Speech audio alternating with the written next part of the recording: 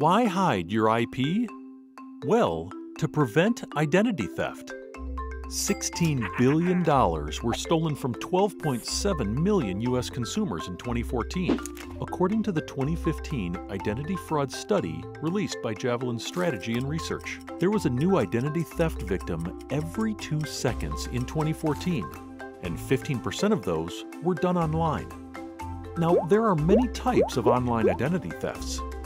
The most common is the card related theft, when a hacker steals your card info if you use it on a malicious site that mimics a trusted real one.